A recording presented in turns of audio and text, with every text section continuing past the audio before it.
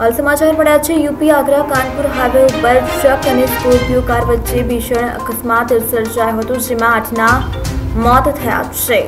Agra, Kanpur highway ઉપર truck અને Scorpio car વચ્ચે ભીષણ અકસ્માત સર્જાયો છે, જેમાં આઠ લોકોના મોત થયા છે, જ્યારે ચારની હાલત ગંભીર જણાઈ આવે છે.